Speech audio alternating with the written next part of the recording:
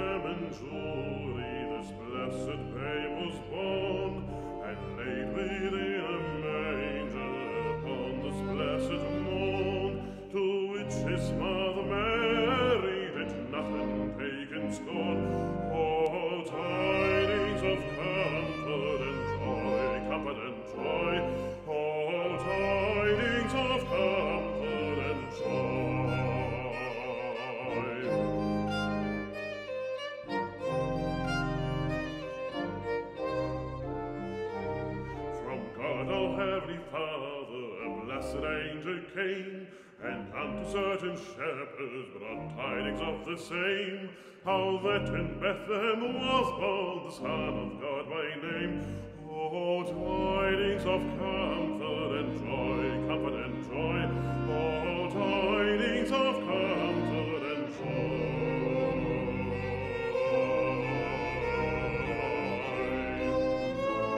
The shepherds heard those tidings, rejoiced much and left their flocks of feeding and helpless storm and wind, and went to Bethlehem straightway way, the Son of God to find. Oh, tidings of comfort and joy, comfort and joy, oh,